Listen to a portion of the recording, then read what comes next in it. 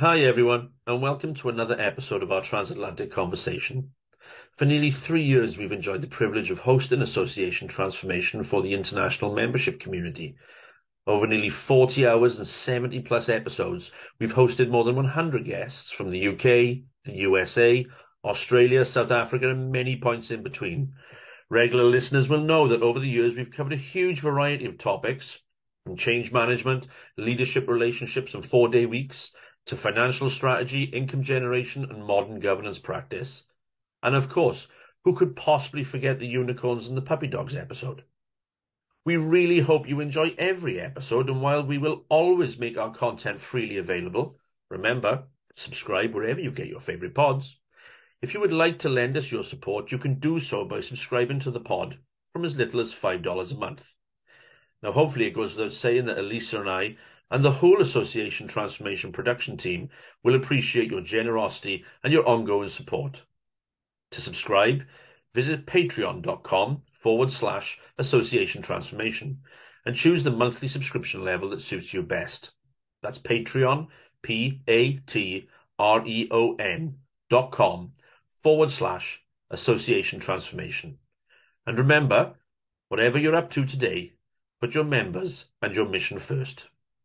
Enjoy the pod.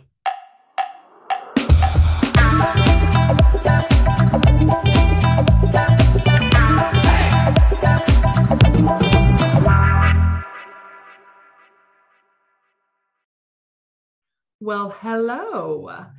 This is a very interesting and different episode. I'm, I'm quite excited. Um, once again, sadly, for those of you who love the accent, um, and maybe a good thing for me um, since he always he's my ultimate contrarian. Um, Andrew is is not with us today, but I think we more more than make up for it with um, our stellar cast of uh, of guests this uh, this morning.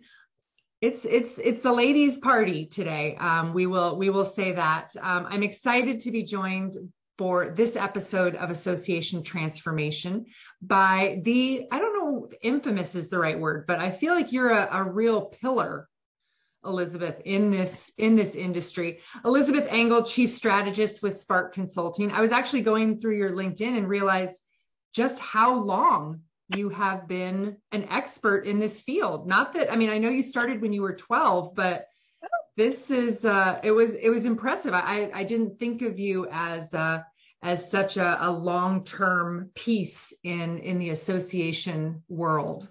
But thank you for for all you've contributed and all you continue to advance. Um, we are also joined uh, today by Shelly Alcorn, the CEO of Michelle Alcorn and Associates. Shelly, hello. Thank you for joining us. I'm inspired by your color and your background and and all the things that make you you that unfortunately our art, our audience doesn't get to enjoy. But we've got three bright and beautiful ladies this morning. Well, I guess I included myself there. In that and three. why not? That's, that's legitimate. That's legitimate. that. yeah what the heck? So Elizabeth Shelly thank you for joining us. Andrew sends his regards but welcome to the Association Transformation family. Well thank you very much for having us we are very excited to be here today to talk about climate change. I know. I, you know, it's one of those topics that um, obviously associations aren't talking about enough. That's why you all are are drawn to and and what you're doing.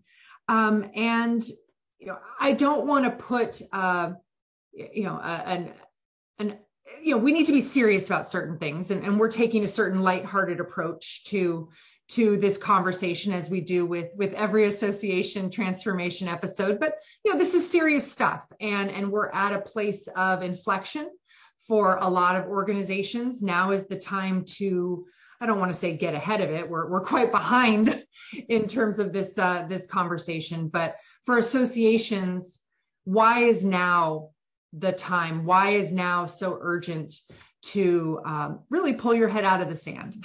I'm just going to say it. Shelly, let me start with you because I, I did start with you when I when I had the opportunity to read your article in Association Evolve uh, about climate change and about um, the urgency in this in this space.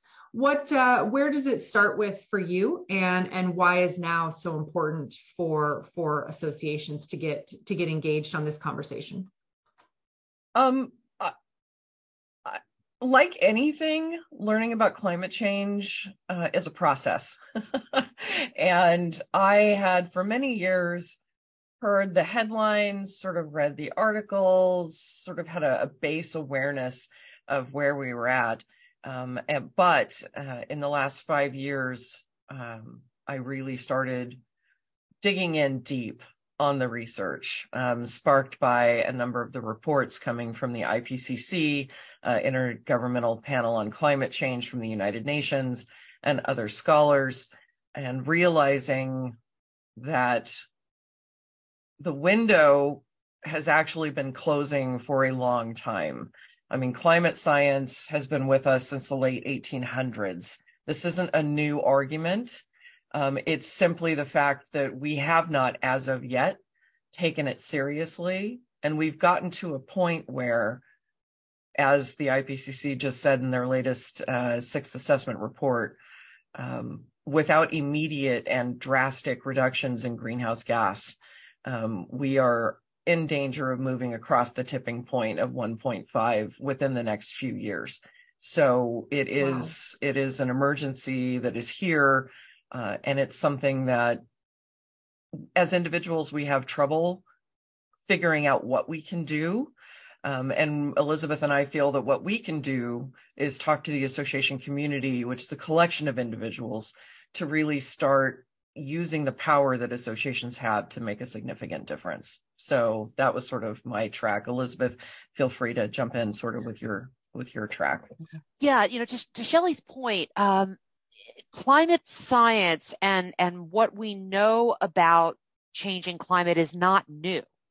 Um, you know, certainly as as Shelly points out, um, you know, this this first was proposed or talked about um, by a woman scientist um, in in the 1800s, you know, in the, in the 19th century, um, and you know, at that time, of course, you know, you're not you're not seeing any sort of effects of it really.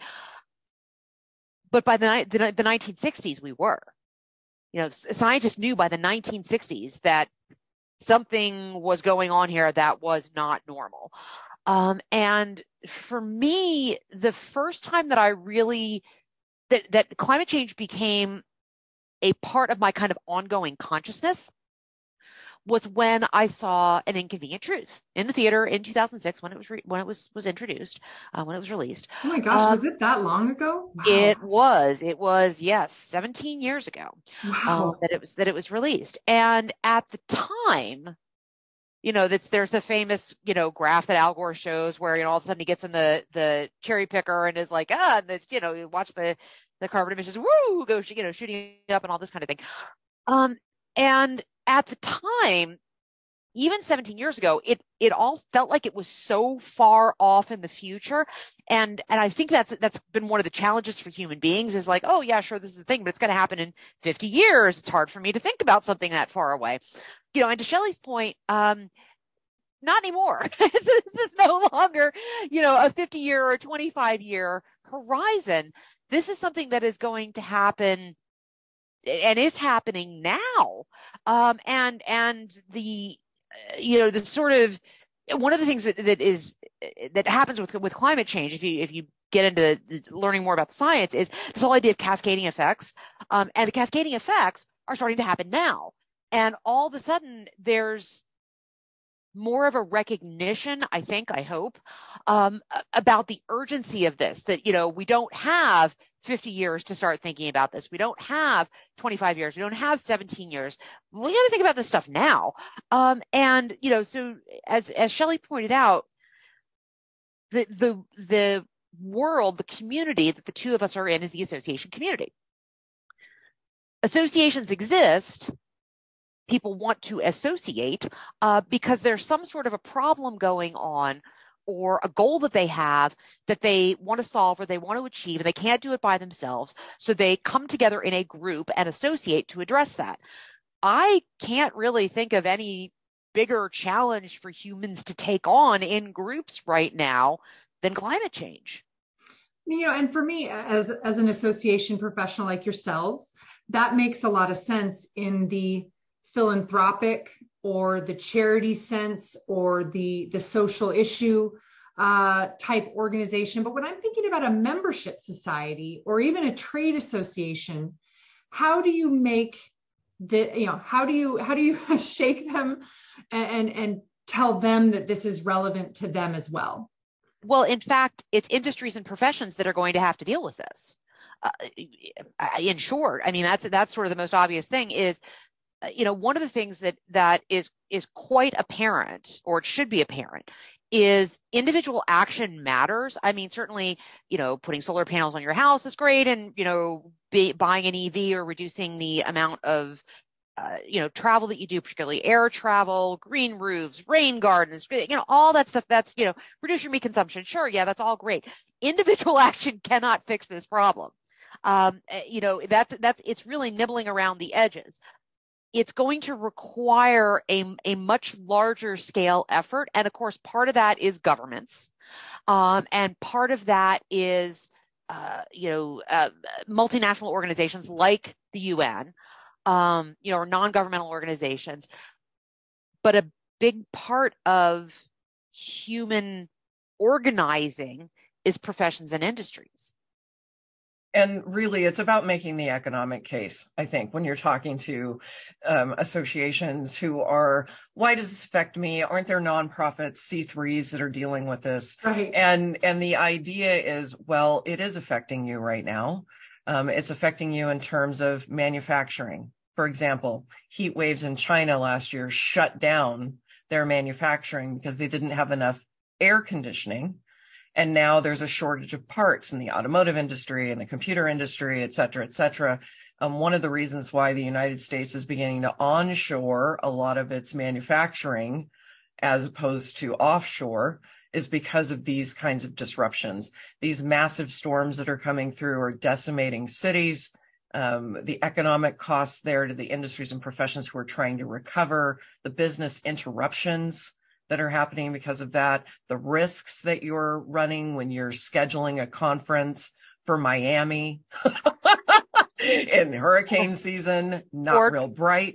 Or know, Fort Lauder or Fort Lauderdale last week. Fort Lauderdale yeah. last week, two feet of rain, you know, in, in a short amount of time that shut down their airport. So this is not only a human catastrophe, but it is a financial and economic catastrophe. And those associations who believe that they are immune to problems with manufacturing or transportation or delivery of goods. We have shortages now of medicines. We have shortages of Adderall. We have shortages of albuterol. We have shortages coming from all, all, all uh, sectors. Um, and it's bringing that story out to associations that I think is compelling beyond just i mean you should be concerned about the humanitarian crisis that we're having but just in terms of economic costs, those are rising every single day. I think so. of a, a, you know an association executive who has taken a magazine virtual, you know, no longer print publishes, and is trying to make some of those small and incremental steps, mm-hmm. asking themselves, what else do you want? What else can I do? What is that first step for us to I guess, recognize the problem and bring it to, you know, put it, shine a spotlight and, and what else can we do? What, what's realistic and, and acceptable? Mm-hmm. Well, there there are at least sort of three angles of the way this is going to be affecting associations, right? One is has to do with our own internal operations, you know, and that's when you think about things like your office space and your employees commuting and you know the, the kind of the climate impact of all of that stuff then you know at least to your point there's also that kind of member facing piece of it where we start talking about programs products and services. Now obviously something like you know are you are you mailing a print publication or not? That has an impact but really the the main thing there the or not the main thing the the biggest climate impact thing that associations do is in-person gathering um, and I think we're all aware of that. Um, you know, so there's there's sort of thinking about that as well, both from the perspective of what's the you know, what's the carbon emission impact of bringing a bunch of people from all over the country or all over the world together in one place? And also, you know, to Shelly's point about um, uh, you know, did you, you know, did you set your meeting in Miami during hurricane season or in Fort Lauderdale last week or in, um, you know, uh, somewhere in sort of the Tahoe area as the atmospheric river has been coming through and dumping feet and feet and feet and feet of snow. Uh, you know, uh, you, there's, there's, there's the, the economic piece of well, what happens if your meeting gets canceled? Um, you know, and, and we saw, some of the challenges, you know, we all think, oh, I have meeting cancellation insurance, right? And we also some of the challenges with that with the pandemic. That doesn't always cover everything you think it's going to cover. Um, you know, and then at, at sort of at that that third leg of this stool for associations is about the professions and industries we serve. You know, so so there are multiple lenses through which we need to view this and think about it that, and think about the kind of impact that we can have as organizations. Mm it's it really starts with strategy it really starts with just overhauling your strategic plan yeah. and thinking more about what the future has in store um, and not not in the way we've traditionally done strategic planning which is sort of oh what are we going to do to change membership you know it's like it's like your strategic plan really needs to be about strategy and adaptation moving forward um, you we have lobbyists everywhere in the US. You know, you can't throw a rock without hitting a lobbyist in Sacramento, right? Or we DC. De- yeah, exactly. In DC, we have the ability to deploy our lobbying teams on climate change as an economic issue in a way that C3s and charities do not have. Um, we have resources to to ensure that we're communicating messaging out. Um, we can look at our sponsors and our affiliates. Look at your corporate sponsors. If you're being sponsored by Exxon, maybe that's not a sponsorship you should continue taking. You know, maybe you should start making values based decisions on different elements that you have in order to try and push the needle uh, as much as you can. So there are a lot of practical things associations can do, but it really starts with that strategy, with that what is our government affairs program about? And then how are we going to live a values based uh, life? Well, I, that's really what what it comes down to. I think the the the theme of all of this is is values based decision making. Mm-hmm. And when you're when you're managing a board, do you wait for this to be urgent and important to them? How do you, as an association executive who are driving the mission and serving the the organization and, and working for the board, mm-hmm. how do you seed that field in an appropriate way? It, executives are always trapped in this idea uh, that they are here to, to simply serve the will of the board. And although that's true, what the executives can do is they can provide information to their board um, in an educational way to allow the board to come along and ask those hard questions that need to be asked. Um, it's always a matter of getting to the personal and using concrete examples of things that are happening in other industries and professions so CEOs, and I, I am currently trying to figure out how to provide that kind of intelligence on an ongoing basis that CEOs can use to send to their boards as informational pieces um, and hopefully begin to drive the needle there. Um, it's it has to be a meeting of the minds, but we cannot wait for our boards to figure that out. They are not going to figure it out on their own. And there are a lot of climate activists probably inside your association who have never seen the opportunity to start the conversation. And so setting up task forces or future forces to sit and look at those practical things that will happen in your industry and profession is also a non-threatening way to sort of start the conversation. And the more they learn the more they're able to share the more change you can create inside your organization. To the and to the point that both of you are making about the this concept of values one of the values of an association is the economic viability of the industry or profession the association uh, represents and there's an opportunity for leadership here. Uh, you know, for for associations to truly exercise leadership within our industries, within our professions around how is this going to affect our economic viability? I mean, you know, we look at, I, am going to call them out a little bit here, but right, but we look at fossil fuel industries whether it's you know petroleum or coal or whatever and we're like oh well you know the the, the impact there is kind of obvious right um but i mean any industry that you can think of because climate disruption is going to affect every area of our lives. Every industry, every profession that you can think of is going to be impacted. Some of them are going to be impacted in a really positive way. If you're in solar power or wind energy, you're in boom times and that's likely to continue but that's also an opportunity for leadership um, you know when we think about uh, you know healthcare right you know we we saw healthcare get impacted incredibly uh, in incredibly difficult ways around the pandemic. Well, one of the things that's going to happen with climate change that is happening is there's additional zoonotic pandemics coming out, you know, and diseases coming out into the human population. you know, like insurance, uh, you know, I know I'm watching The yeah. Last of Us, so I'm ready. Yeah, exactly. Right. I'm, I'm watching yeah. it. Yeah. I mean, and we also have to think about, you know, World Health Organization just a couple weeks ago, while I was in a strategic planning session with an organization, came out and it is clear that 40% of the global population will suffer from water insecurity by 2030. That's seven years from now. 40% of the global population will not have access to drinking water in their urban areas um, when you look at, I mean, and that's just massive. Think about, think about that for a second.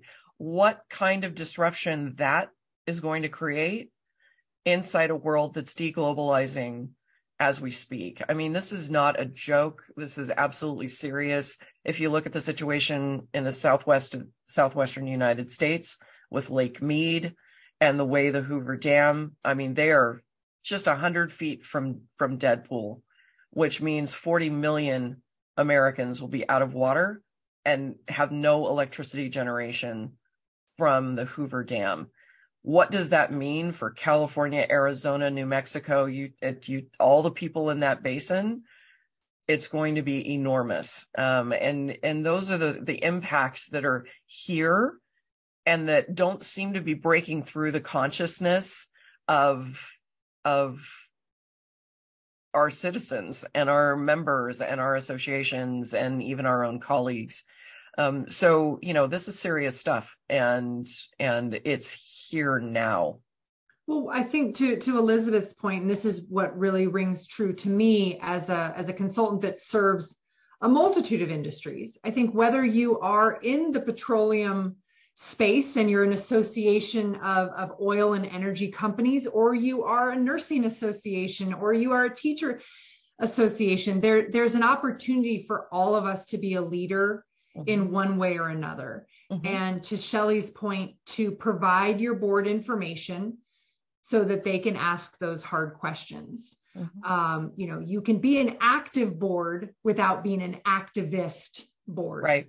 Right. And I think, you know, I know I wish Andrew was here. He would be flying the flag and, you know, shouting all the ESG from the rooftop. I'm a little more, you know, middle of the road on on that coming from the trade association side and wanting to balance the the economics of it. This we have to make the economic case industry by industry um, so that the value based decisions are easier. Yeah, and it's not hard to do.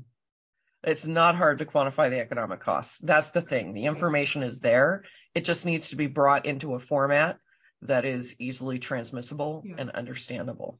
And that's where you two come in, right? I mean, you're working to aggregate, distill, and uh, and and what's the project you are you're currently contributing to on this exact topic?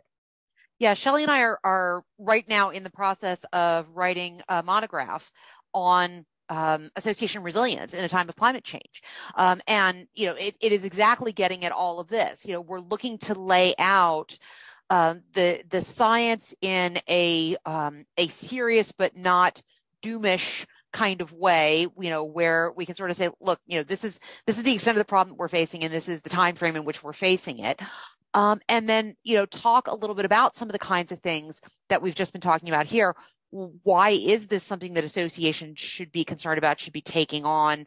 How how does this affect us around some of these values based conversations, remembering that economic viability of the association industry, qua the association industry, and also of those professions and industries that we serve matters. That is a value is to, is to, to make sure that, um, you know, uh, local national and world economies continue to operate, um, you know, in a way that is, um, that is more in in a way that that is going to allow us to continue to operate, um, you know, as we are facing some of these these pressures related to climate change, um, and then how that's going to impact the way humans live our lives. Um, and then, you know, the, the goal of this this monograph is to not just sort of leave you sitting there going, okay, yeah, I understand that it's a problem, and I understand that associations probably need to pay attention to it, but I don't know what to do. Yeah, what you know, the, give, give exactly. me step. Give me exactly. low hanging fruit. Yeah. Mm-hmm. Yep, for sure. And it's our third white paper that we've collaborated on, and I can't think of a better author uh, to work with on this. And I know there are there are a number of consultants in our arena who are also becoming increasingly concerned. So my hope is that by writing the white paper and by recruiting uh, a lot of our colleagues who are concerned that we can develop a consultant consortium who is who who are focused on ensuring that these types of information campaigns uh, with practical solutions uh, can be can be um, distributed uh, amongst our our peers and the, and the groups that we love. I mean, this is it's hard to talk about climate change because you're I'm often accused of being, you know, an apocalyptimist, if you will. Is that a word? Yeah.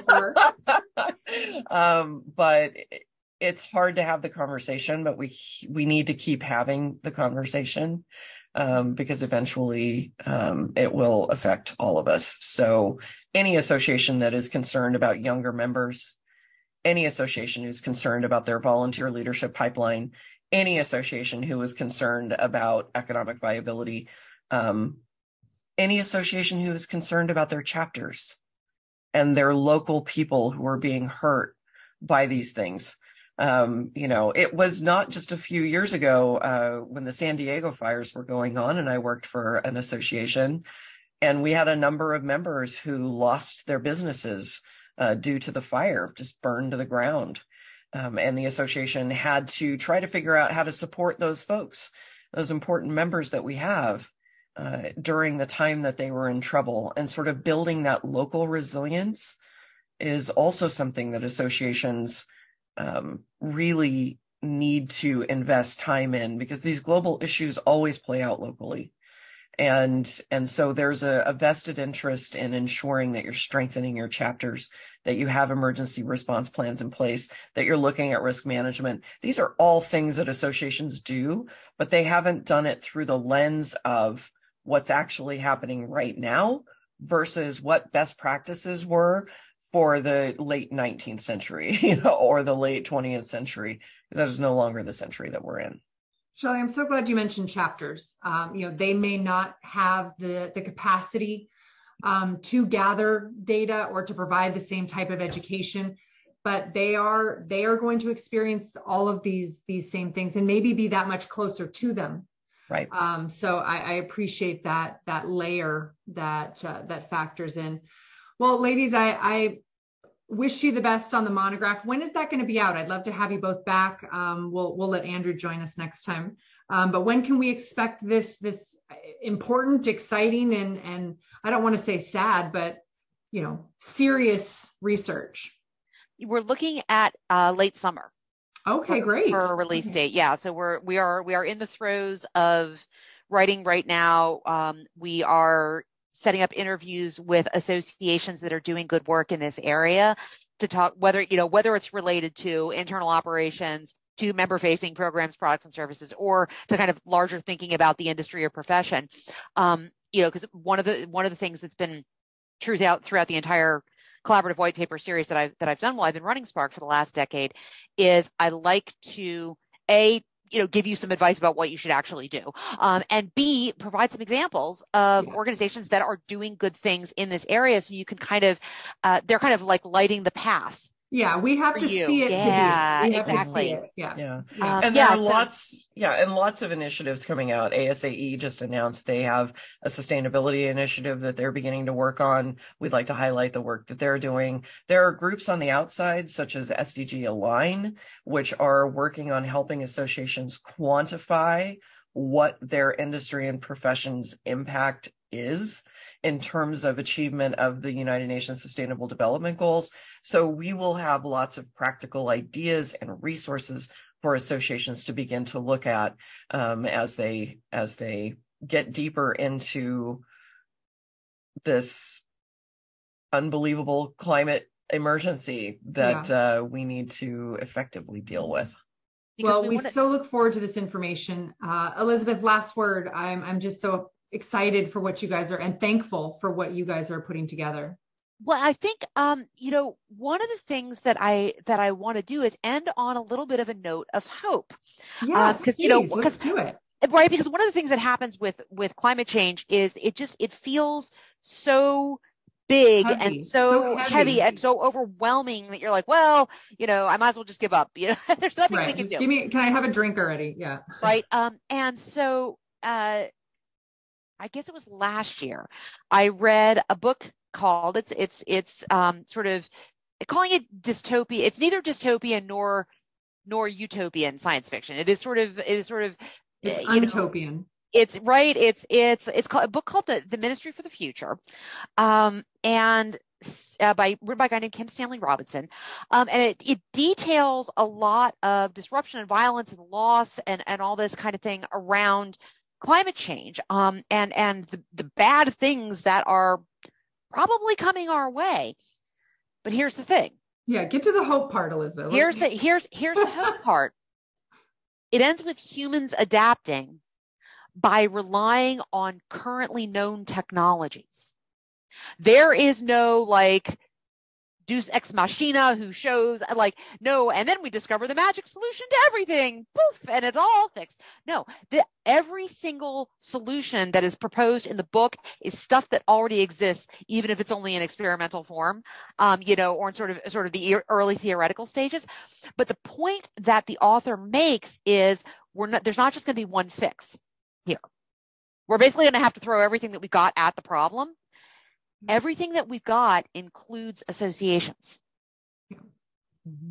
Well, and that is exciting to know that we can be a part of that. We can be part of that adaptation. Um, it is exciting. It's it's responsibility, and it means that these conversations need to be had and these hard questions need to be asked. Thank you both so much for for sounding this alarm, um, for your dedication to not only this issue but the harder task of bringing it all together and and putting it in the context of associations so that lens is something people are willing to look through and not afraid of i thank you both for for your contributions to this and we can't wait to have you back uh, when the monograph is out um, so shelly Alcorn and Elizabeth Engel, thank you so much for joining me today. And we will let Andrew in on our party next time. um, but uh, until then, we encourage you to uh, to make association transformation one of your favorites wherever you get your podcasts and put your members and your mission first.